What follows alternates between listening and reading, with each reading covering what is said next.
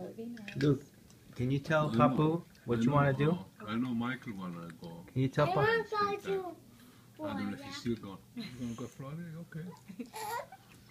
What do you want to do in Florida? I'm going to Papa Pool. Yeah.